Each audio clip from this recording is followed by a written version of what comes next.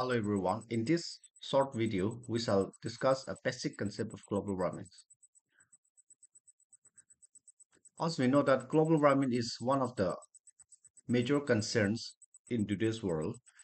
It is a global warming is gradually increase in the average temperature of our planet Earth due to the increase in the greenhouse gas. These greenhouse gases these are nothing but it is the gases that are enveloped around the atmosphere layer.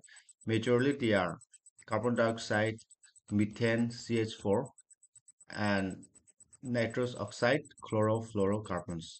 We have a different chemicals like a hydrofluorocarbons also available in nowadays. But uh, these greenhouse gases which increase in the atmosphere level leading the warmer of the earth but if the excessive greenhouse gases are present in the atmosphere, it increases the uh, global uh, weather conditions may change and which leads to the warmer of the earth. So this global warmings, it is majorly caused by these greenhouse gases. Out of all the greenhouse gases, these carbon dioxide and the methane contribute a major con concentrations. This carbon, carbon dioxide contribute the 6 percent, methane 20 percent, and chlorofluorocarbons 14 percent, and nitrous oxide 6 percent, which are contribute in the these are the major contributors leads leads to the global warming.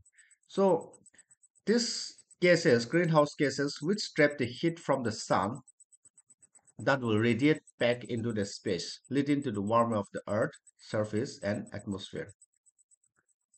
So the different human activities which contribute the increase of greenhouse gases are due to the increase of human populations, urbanizations, the burning of fossil fuels increase, deforestation also increase for different human consumption purpose, agriculture activities, different industrial process, different chemical, different industries, and different transportations, vehicles, automobiles. These are some of the factors that leads to the global warming. And landfilling, which is one of the major issues in the municipal, most of the municipal cities and towns, we see a waste management in the open open dumpings and landfillings, which in turn increase the uh, which different in turn increase the methane contribution CH4 and agriculture also we use a different fertilizers which leads to the increase of nitrous oxide. And fossil fuels and deforestation increase the carbon dioxide.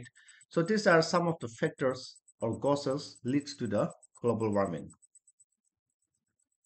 So we have a different effect of global warmings globally Due to the increase of global warming temperatures, the sea level also rises. Due to the melting of glaciers, increase, increase the sea level, water level increase, habitat destruction, different eco ecological systems may disturb, increase of crop yieldings may decrease, and the forest growth may decrease, ecological imbalance, lots of ecological species, plants, animals may uh, become to imbalance and different drop nature increase the greenhouse gases. So these are the some of the effect of global warming. Since we have time limited we will try to stop from here. Thank you everyone for listening the video